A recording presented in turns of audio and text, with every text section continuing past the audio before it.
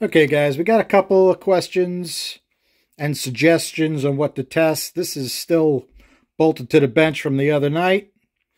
So what we're going to do is we're going to get a baseline with this big Holley. I think this is an 850.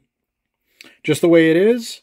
And then we're going to throw a couple other things on it and see if the airflow changes. Now, to be honest, I don't believe we got enough flow going through this cylinder head to make much of a difference, but it'll be uh, it'll be interesting to try.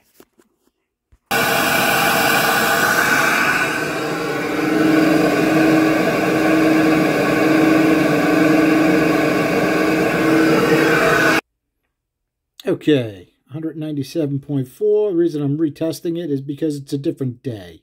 So it's only off a touch from where it was. Now, let's see if we can bolt on this K&N, K&N stub stack and see if it makes a difference. I know what it used to, uh, it used to help. Uh, we'll see if it makes a difference on the flow bench. I'm going to say two or three CFM, that's it. Okay, it doesn't quite fit this style carb. See how it has a little space around it? I don't know if it's really going to help at all. Let's uh, turn it on and try.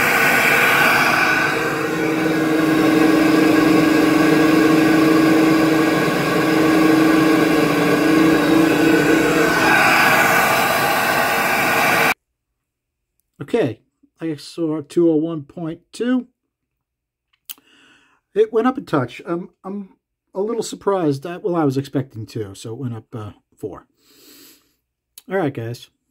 Next phase is going to be a brand new, brand new K&N I've had sitting around. I use the same one on my Chevelle in the uh, the old work truck. It's been on the shelf for years. We're going to pull it out of the box and put it on and see what happens. Okay, K&N drop base. Does not fit this style carb with the giant vacuum diaphragm. But I have a I have a spacer. Let me show you. Don't ask me where I got this aluminum spacer for, but it seems to come in handy. Why don't we test it with just the spacer and see if it goes up. And then we'll put the K&N on top of this. Uh, yeah, we'll do that.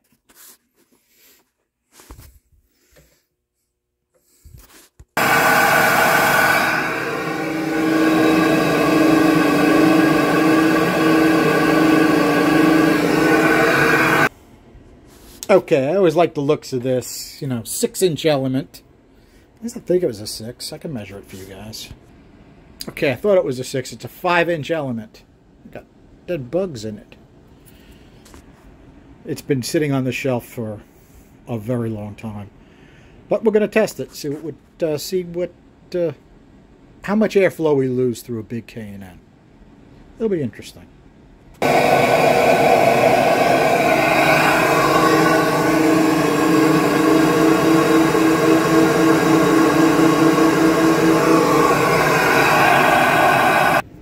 Okay, that's what I saw, 196.9.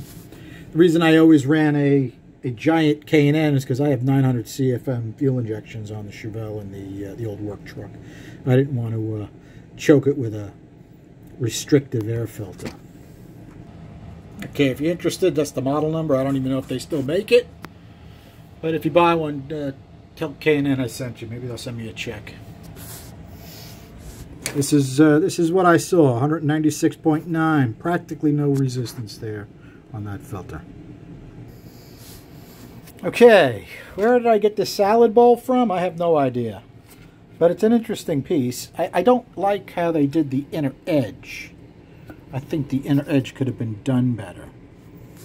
But let's put it on and see if it makes any difference in our airflow.